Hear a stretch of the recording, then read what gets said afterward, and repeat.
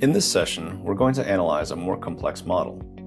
Oil platforms, or offshore drilling platforms, are large structures used to drill and extract natural gas and oil that lie under the seabed. The model is fairly complicated, and there are several different parts that we need to build. Let's take a look at the drawing sheets of the model in detail so that we can develop a plan on how to create this model. First, let's identify the main parts that define the oil platform. The base platform the floating base, the helipad, and the oil derrick. Now we can analyze them in detail. The base platform is a simple shape.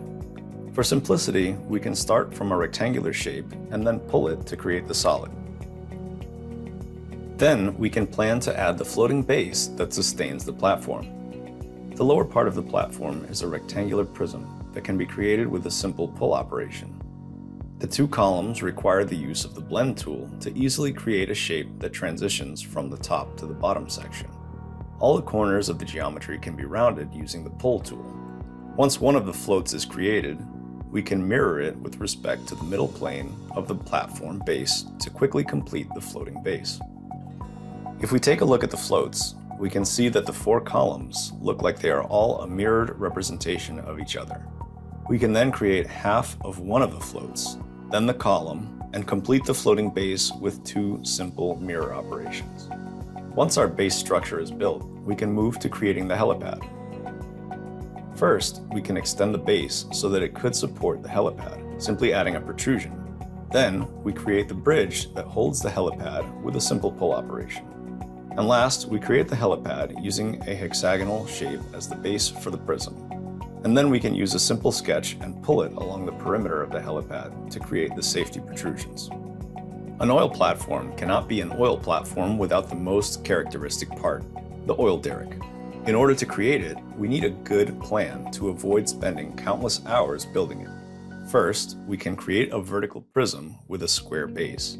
Then we can use the shell option to create a hollow prism and sketch the beam structure on its sides.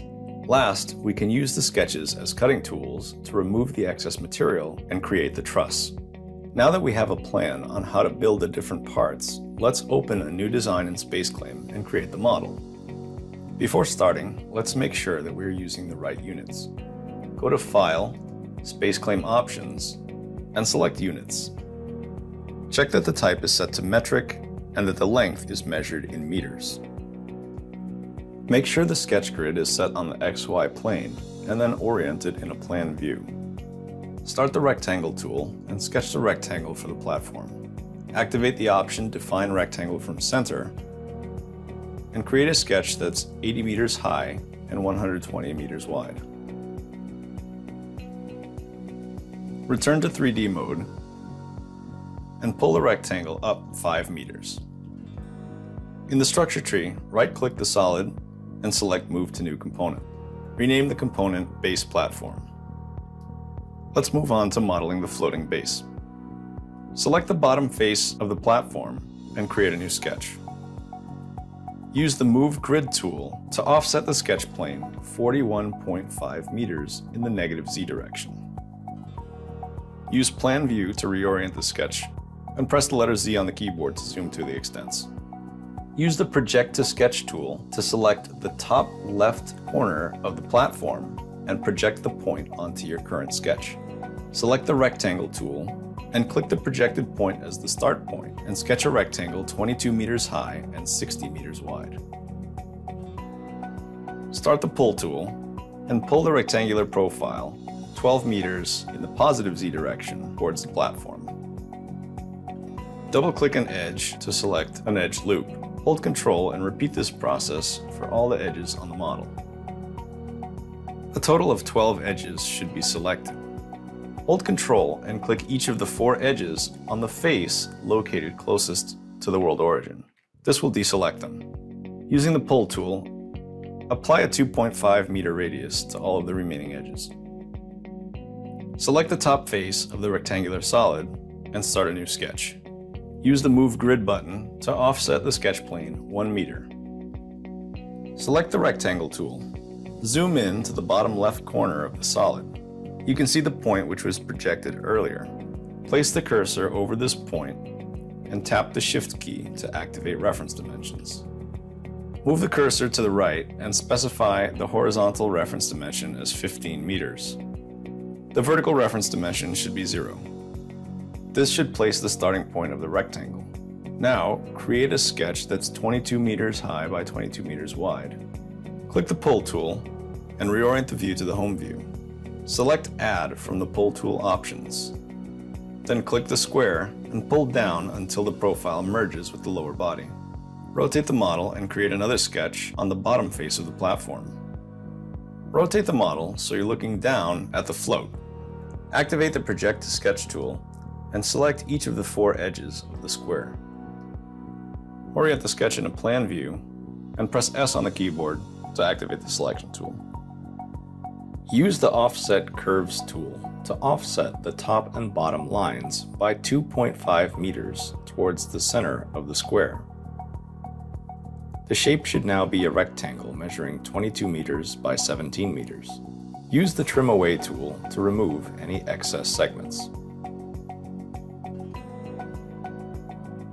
Click and drag a box around the remaining four lines and use the Move tool to shift them 5 meters to the right. Switch to 3D mode and activate the Blend tool.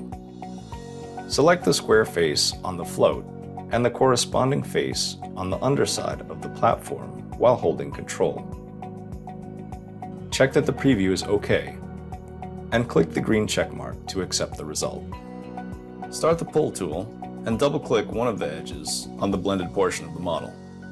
This should select two edge segments. Hold Control and double-click the remaining three edges. Now press the spacebar and enter a value of 2.5 for the radius.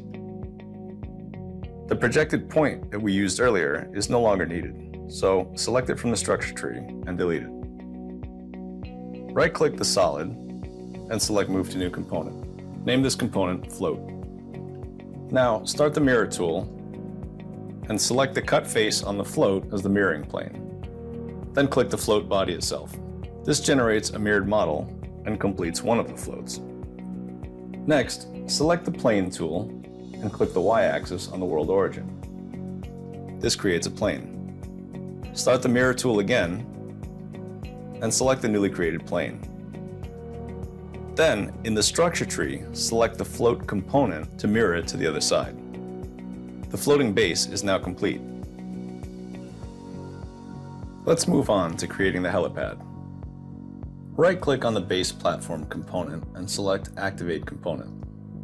Select the base platform side located along the negative x direction and create a sketch plane on it. Select the rectangle tool, then click the top right corner of the platform as the starting point.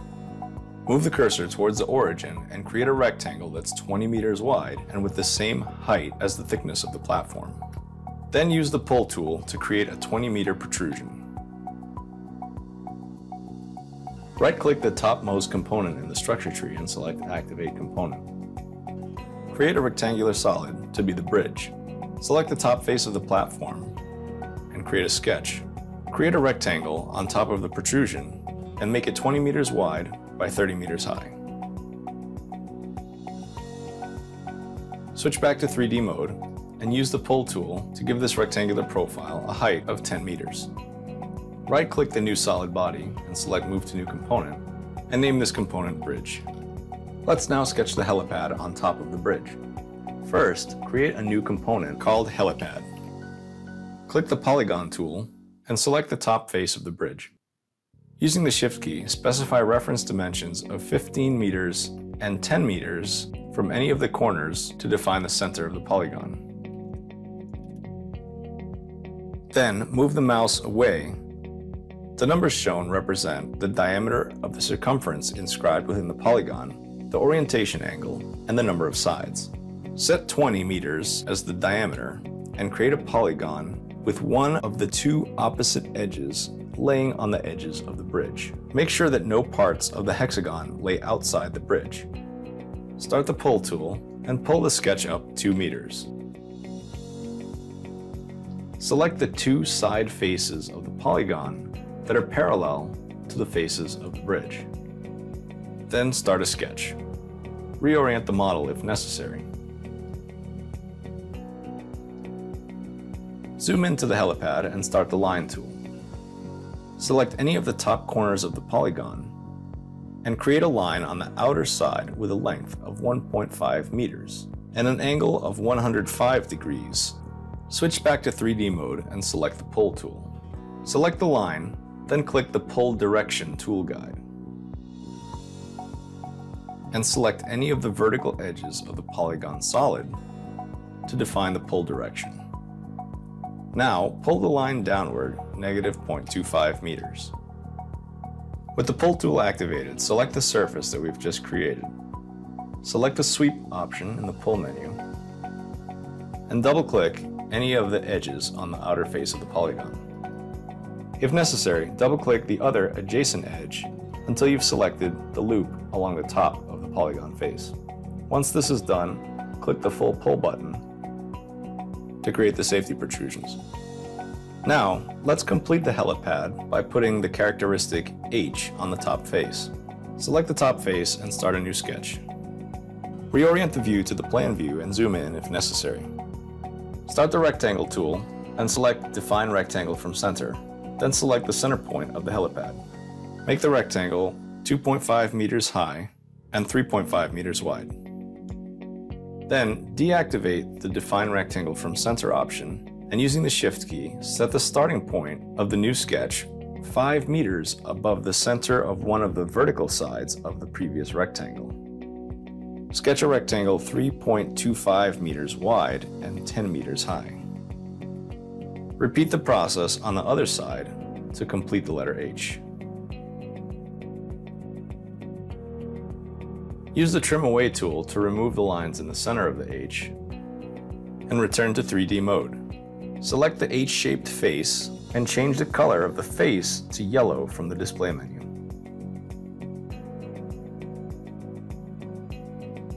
Now let's create the oil derrick. Right-click the top entry in the structure tree and select New Component. Name the new component Oil Derrick. Hold Ctrl and select the X and Z axes, then go to Sketch Mode. Sketch a construction line vertically beginning at the center of the top face of the platform and make it 62 meters high. We'll use this later on.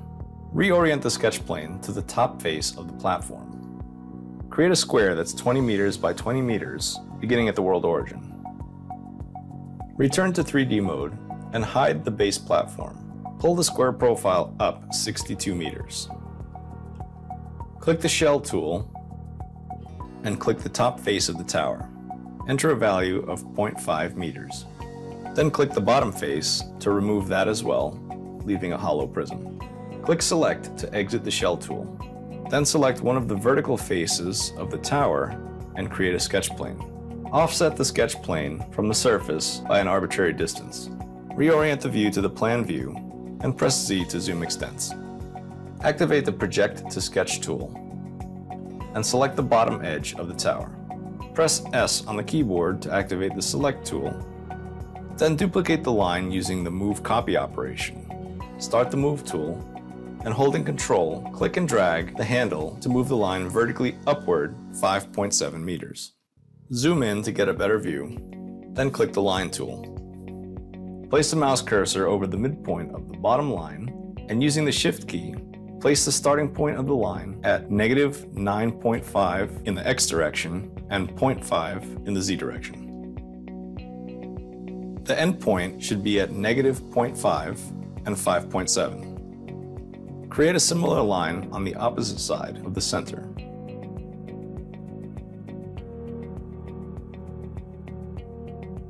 Sketch a vertical line on the left and right sides to form a triangle. Using the Offset Curve tool, create a duplicate of each hypotenuse and move it 0.5 meters down towards the base. Click the Create Corner tool and close the gap at the top between the two new lines. Similarly, use Create Corner and close the gap between the offset lines and the baseline such that you get a closed triangle at the bottom. Use the Trim Away tool to eliminate all extra segments of the triangles, so only three distinct triangles are left. Press S and click and drag a box around the three triangles. Start the Move tool and select Create Patterns. Move the triangles up in the Z direction and set the spacing to 55.8 meters. The count should be 10. Press D on the keyboard to return to 3D mode. Expand the oil derrick in the structure tree and select the surface. This will be our cutting tool to generate the shape of the truss. Adjust the location of the Move tool and place the center point on the vertical construction line we created earlier. Hold Ctrl and rotate the surface 90 degrees about the center axis in either direction. Press S to exit the Move tool. Select one surface from the structure tree and click Pull. Select the Cut option and pull the surface through the entire tower. Repeat the process with the second surface. Now, the base of the oil derrick is completed. For convenience, we will import the top portion of the derrick to complete the shape. The process to build it is roughly the same as the lower part, just on a set of inclined planes. Right-click the top entry in the structure tree and select Activate Component. Now let's load the top portion of the oil derrick into the design. Go to the Assembly tab and click the File button. Then open Oil Derrick Top. Press S on the keyboard to activate the Select tool. Select the oil derrick component from the structure tree and start the Move tool. Position the Move tool on the bottom surface of the derrick. Then move the piece vertically using the Up To option and select one of the upper surfaces on the lower portion of the derrick. Ensure that the alignment is correct, then activate the Combine tool. Holding Control on the keyboard, click both bodies to merge them. This completes the oil derrick. Right-click in the background and select Show All. As additional steps, you can change the color of the different parts of the model from the Display tab in the Color menu. You can also add additional shapes to increase the level of detail on the oil platform. We've also created a model of a crane which you can import into the assembly as well. You can make a copy of it to have a second crane and improve the look of the model. Congratulations, you've successfully completed the design of an oil platform.